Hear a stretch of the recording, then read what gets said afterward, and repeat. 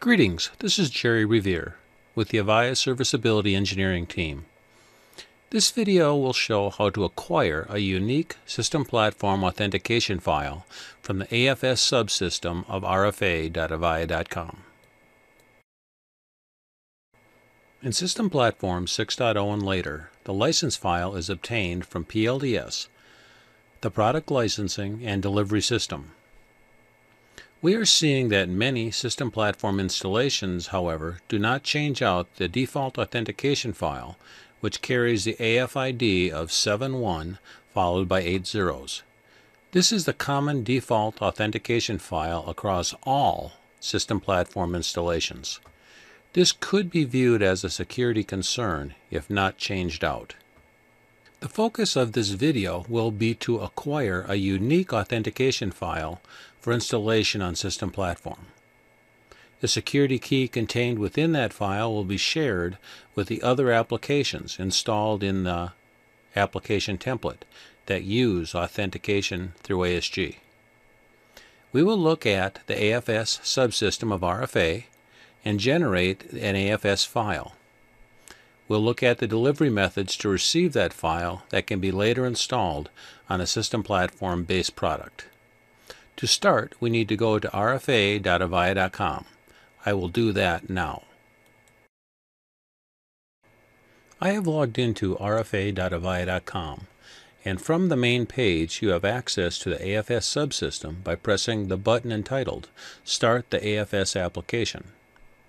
Please note the RFA alert in the yellow box detailing the other products that are still currently supported by RFA.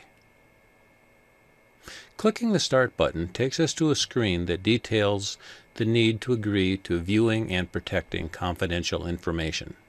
Clicking Agree takes us to the first screen of AFS, which we need to select the product and the release for which the authentication file is to be generated for. There are several choices, as you can see.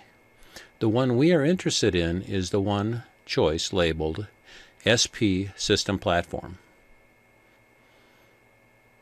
The next step is to select the version of the file desired. There is only the 6.x choice, so we'll select that. I have pressed Next to proceed to the authentication file delivery screens. In the file delivery screen there are two choices. One to deliver a new file to a new system, and the other choice is to redeliver an existing file that was previously delivered. That would be used in the case of a maintenance replacement for an example. We have selected the New System option and pressed Next to go to the final screens. This delivery screen allows for the file to be emailed or downloaded to your PC. The last input that needs to be done is to enter a fully qualified domain name for the applications listed. I have used an FQDN of systemplatform.avaya.com. Personally, I find the email delivery option the most useful, but you can use the download the file to your PC option if desired. I have sent the file via email to my handle. The last screen provides a summary of the AFID and the type of file that was delivered. What is shown now is the email that the newly created authentication file was delivered in.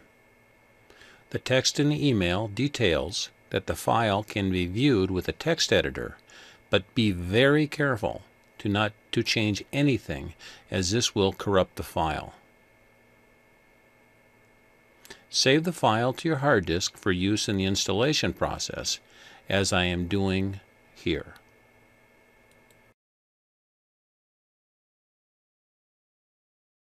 Thank you for your time today.